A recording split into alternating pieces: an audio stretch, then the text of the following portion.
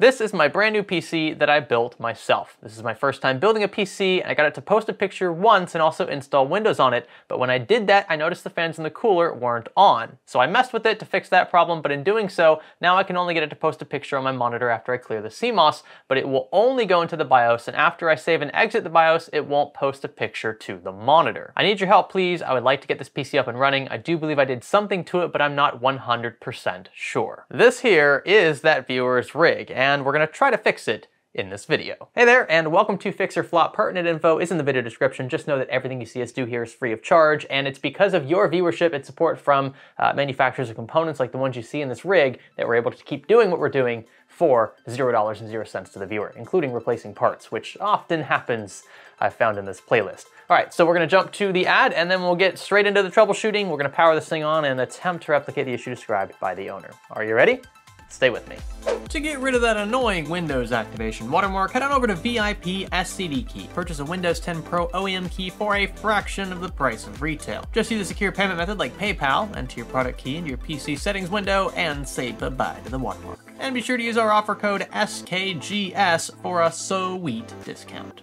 Now, in case you're wondering, basic specs of this rig include a beefy RTX 3090 Zotac graphics card. I sincerely hope this is not the reason why the system isn't posting or booting into Windows. It does actually sound like the rig is getting into the BIOS, so that would be a post, but it's not wanting to load into Windows, which could be a drive issue or potentially just a failed install of the OS. Uh, it looks like we have an Intel platform as well. Really like the white aesthetic in this uh, Lian Li case maybe 32 or 64 gigs of DDR4 or 5. I, we, we, changed on the form. Now we're requiring, we're making it a mandatory uh, thing to list specifications. So I know ahead of time what I'm getting into. Uh, but this is either a 12th or 13th gen CPU in here from Intel, and I believe it's a higher end one as well. He spent a lot of money on this, and it's a shame it hasn't worked right out of the gate. First things first, let's try to get this rig to power on and see if we can get into Windows. Again, I think that's gonna be our problem, is getting into Windows, but where's the, that, there's the power button. Uh, but, you know, these things are kind of, I don't know, the symptoms can be fickle, especially when we're worrying about software and what was or wasn't loaded onto the drive. It sounds like this person did successfully install Windows at one point, but we'll, we'll see. So um, right now it looks like we're not getting a post at all. Does this board have debug LEDs? Yes, it does. We have the DRAM LED lit right now. That that is not good. Now don't be fooled by these LEDs. Just because our RAM appears to be receiving power at the surface, it doesn't mean that they're slotted all the way in. Also, this DRAM LED doesn't necessarily mean that there's a problem with DRAM as we've seen time and time again in this playlist. Sometimes debug LEDs come in very handy, and other times they lead us down rabbit holes that um, go nowhere and you just spend a bunch of time troubleshooting something that was never the problem to begin with. Now, if you notice, this far left DIMM is being shoved to the right, and it's so exaggerated here that the DIMMs appear to be sitting unevenly, even though the spacing of the slots is fairly even in this board. It's because of this thick cable right here leading from the AIO. A lot of these AIO designers don't really think about the hindrances of cable stemming from the blocks um, when it comes to DRAM placement or heatsink placement around the, the, the socket, and it's just super annoying. It's just, it's just just a lazy approach. Just not a good place at all to have this. I recommend maybe rotating the block another 90 degrees, which we can do here, and don't be worried about having a crooked uh, logo because you can rotate this thing all the way around. So at least NZXT thought of that. But uh, this is something we will definitely address. I don't think it's the reason why the system's not posting, but what I'm gonna do next is remove three of these four DIMMs and see if we can get a post. Then I'll try clearing the CMOS. Hey, and would you look at that? That's a green boot LED, and not joking folks, that there is a post that was pretty effortless. So what I'm gonna do now is add DIMMs back to the rig, single stick by single stick, up until we get to that last innermost left slot. I do think at this point that we're just having an issue with uh, contact because of how pressed against the module uh, the cables are here from this unit, which again would be a quick fix because we could just rotate the block another 90 degrees and have the cable stem out maybe the left side or maybe have them stem down here. Uh, we'll cross that bridge when we come to it. But for now, let's keep adding modules back to the rig until it fails. So here's two DIMMs. You can see the DRAM light is illuminated currently, but then that disappears the VGA light should pop up. It's a white LED. Any second now, there it is. And then that'll quickly pivot to the green boot LED. There it goes. And I know you can't see this on camera, but we do have a post on our portable monitor. So two modules is a-okay. This also indicates to me that both memory channels are functioning properly since at this point we do have two separate sticks and two separate modules. Usually it's A2 and B2 to start. Uh, so doesn't look like a CPU issue, doesn't look like a motherboard issue. Again, I think it's just the pressure that one of these DIMMs was receiving from that AIO. I know this one looks super awkward, but with three DIMMs installed, we still get a post. So what I'm gonna do now is install the fourth module, but remove these cables stemming from the AIO so that there's no pressure on the DIMM. We'll see if we get a post there. These cables, by the way, are not crucial or vital for the post process. And there we go, we get our post with all four DIMMs in, so I don't think we have a problem with memory or the board or the CPU in that sense. And I think this was the reason why he wasn't getting a post consistently. Now the other issue is Windows, and we'll check that in a second. Also, I don't want to keep this running too long because, well, the pump's off. We don't want the CPU getting too hot. Now, I was in the middle of trying to rotate this block around just so that the cables are out of the way of the DIMMs. The problem is, if we rotate it this way, so it'd be counterclockwise from the position he originally had it, you can see these tubes now are literally blocking the first and innermost DIMM slot. That's no good. Let's rotate it the other way then, shall we? Let's put the tubes up top. That shouldn't be a problem. Well, I can't even I can't even fit the block all the way in now because the tubes are hitting this uppermost heatsink. And then you think, okay, well, let's just completely rotate it 180 degrees. Same issue. We got tubes hitting this heatsink slash shield here. This is a very annoying design. I'm not sure why Asus thought it'd be okay to put stuff this close to the holes in the board for cooler mounting. There's just not enough clearance here for a conventional AIO with tubes sticking out of it. I just, I hate this so much. I can't even set the block diagonally on the mounting bracket because, well, despite us being able to rotate this kind of however we want, the tubes end up blocking one of the four thumb screws to tighten the whole block down. It's just, you, can't win here. So I've had no choice but to go back to the original setup but I've just tried my best to wedge those cables as far left as possible to keep this left DIMM free. You can see the DIMM still sways a bit to the right. It's not necessarily this thinner cable down here, which is actually multiple cables kind of routed together, but it's this thicker micro USB cable. I, I really hate the fact that there's a micro USB cable, like a literal physical micro USB connector stemming from this block that to me is also really dumb, uh, but we have to work with what we have. I have tried bending this as much as I can without compromising the integrity of the cable, but I think the long-term solution here would be to connect a 90 degree micro USB cable. I don't have one of those around because remember the other side of this cable is a USB 2.0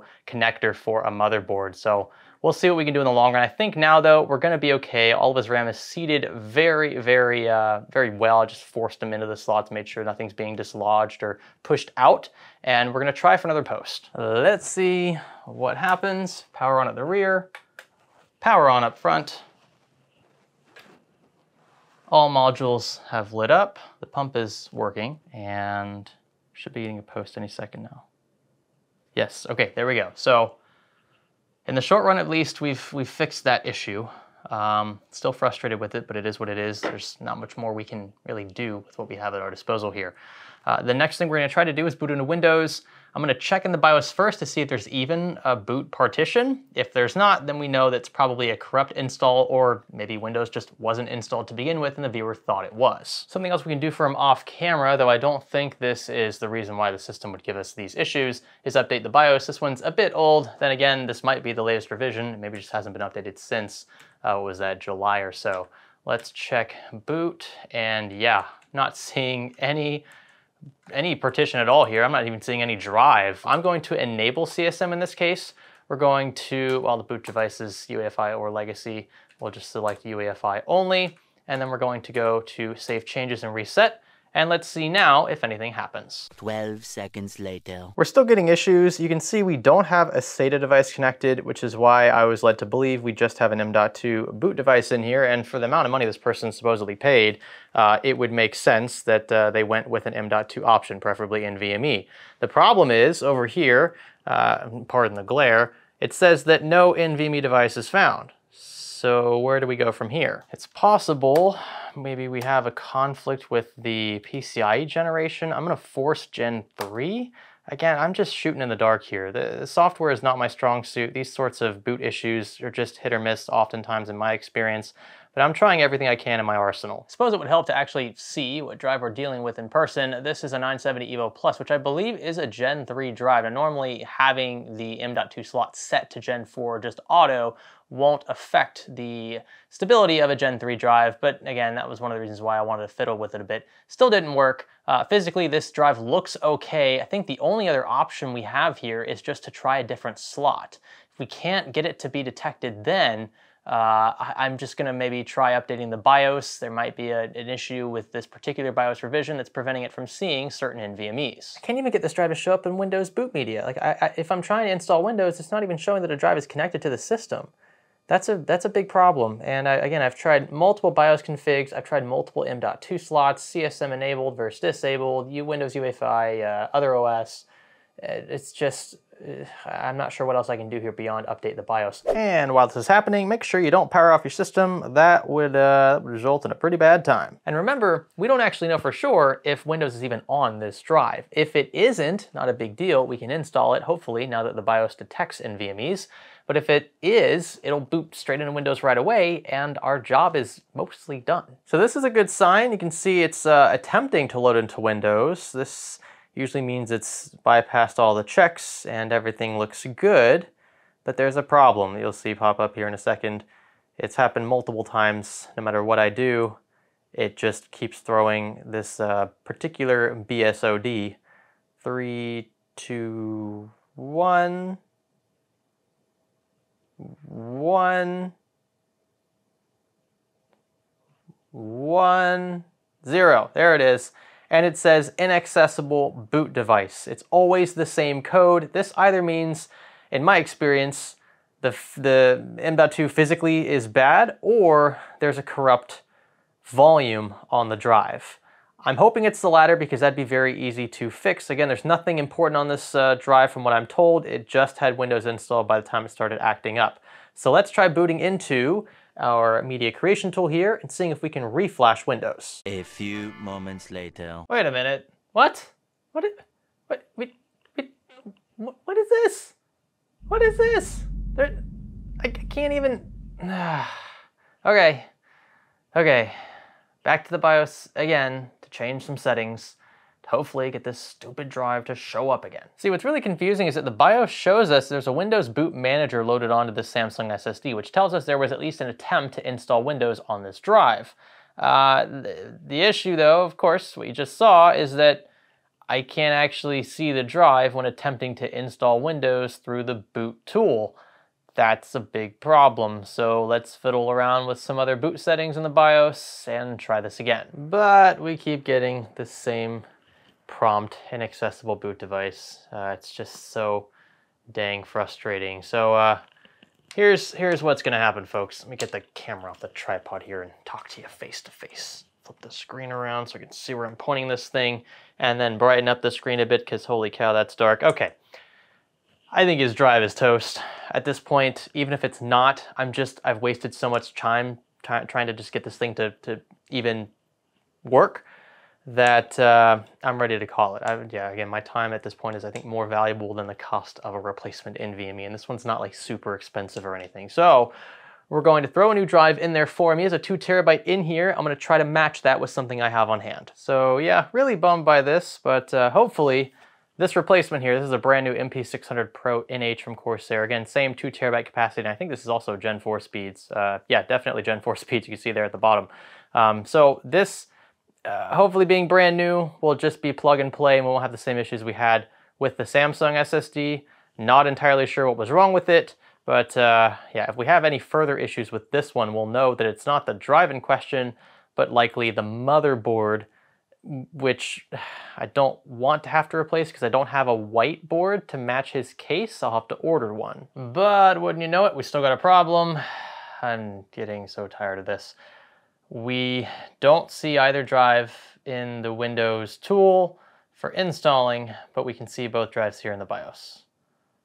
Again, I've checked and unchecked every single boot setting in this BIOS. I have no idea what's going on. I've never run into, frankly, something this stubborn. All right, well, this is something I've never had to do before. Install Intel RST drivers in order to get the NVMEs to even be detected by this Windows boot USB. Um, let's give it a shot, see if this fixes it. I, I doubt it's going to, but I really have no other choice here. I've tried everything I can think of apart from just replacing the motherboard. Oh, hey, wow, wow, that's that's really what it took. I've got to say that's the first time that's ever worked for me, um, or that I've ever even had to get to this point. I should say. That is incredible. Okay, so here we go. So we can see his original drive is drive 2, and he, he does have Windows installed. It looks like a Windows partition is on here. Uh, and then we have drive 3, which is unallocated, and that is a 2 terabyte NVMe I just connected uh, that is from Corsair. So I'm going to try wiping his drive first and reinstalling Windows, because that was our issue to begin with, was we, we got those recurring blue screens of death. I think it was just a corrupt OS. So we'll do that. If this still doesn't work, then we'll move on to my drive, which I think is going to work out of the box since it's brand new. So let's let Windows do its thing and cross our fingers. This is a good sign here. It's just getting things ready, which means that, uh, well, it's at least successfully installed. Should be seeing a blue screen here soon. Not, not the bad kind of blue screen, not the one we were seeing before. Come on, any second now. Yes. I cannot tell you how excited this makes me because you could probably tell in the previous clips, uh, I was getting very frustrated and just uh, spent so much time on this, almost four and a half hours trying to figure out why either the drive wasn't booting into Windows or our Windows bootable USB wasn't detecting the drives. It's just like one big loop. And uh, well, it looks stable now. I'm gonna leave this running for about 30 minutes or so and uh, and we'll call it. I'm not going to run through and, and, redo the setup because if it was going to blue screen, it would have blue screened before it even got to this page, uh, which we could never get to to begin with anyway. I'm going to remove the replacement drive I had on hand for him. This was an MP600 Pro NH. It was also a two terabyte drive. This was Gen 4. Um, but of course, if his drive works, there's no need to do that. There's one more thing I want to do. Apart from cable manage just a tad, I noticed that he had one of his cables uh, at the rear disconnected. It was actually a SATA power cable. It turns out that's for the case lighting. So I went ahead and connected that for him. And then also, uh, I want to add a few more fans to this case because these Lian Li cases tend to perform well when you have additional fans shoving in air.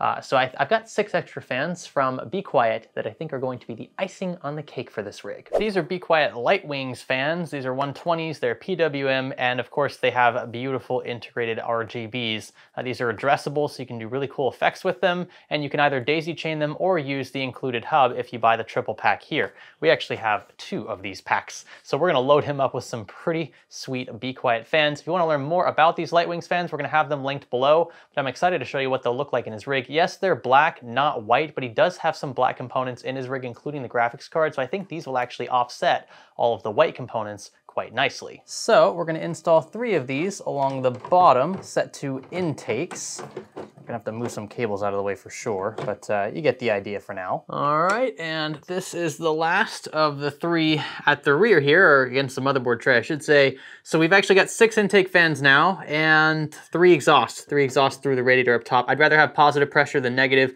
I don't wanna put a fan at the rear because we've got these AIO tubes in the way, but I think it looks so much more filled out now. It looks like a more complete build with these six additional fans. And you're probably wondering how the heck we're gonna see these LEDs if the fans are turned this way where they're gonna be shining through the right side panel. This isn't ideal, right? Well, Be Quiet thought of this and you can see very clearly the LEDs on the opposing sides of the fans as well, uh, the areas that are typically neglected of LEDs in LED functioning fans. Uh, so this is a really cool feature. I think this is actually my favorite feature of the Light Wings fans. So not only are they quiet PWM supported, you can find them in triple packs, including an RGB hub. You can also daisy chain these if you want to bypass the hub altogether, but they also have tasteful LEDs that are good for both sides of the fan, regardless of whether you set it to intake or exhaust, it's gonna look good in pretty much any case. And again, they're available in triple packs or singles. You can find these linked below if you're interested. I wanna thank Be Quiet for being our continued product sponsor of this Fix or Flop playlist. So there you have it. The rig posts into Windows over and over again. We've tried many times to uh, make this fail and it does not.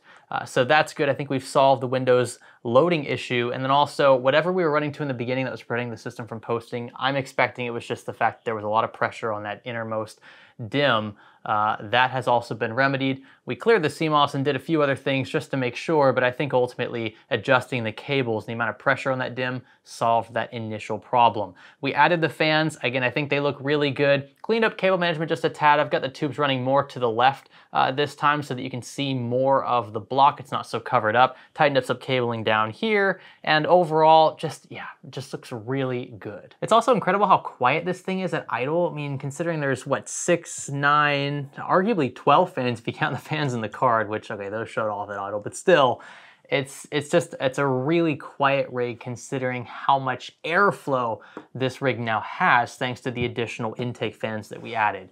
Uh, so all in all, I'm very pleased. I already contacted the uh, owner and he's super pumped. Gonna pick it up tomorrow, uh, first thing in the morning. So excited for him. Glad we could get it up and running. Hopefully this video taught you a thing or two. I definitely learned something about getting the stupid Windows boot device to even detect NVMEs. I've run into issues like this before, but never to this severity. And I've never had to install drivers to get the boot device or the, the boot USB to, to see the drives.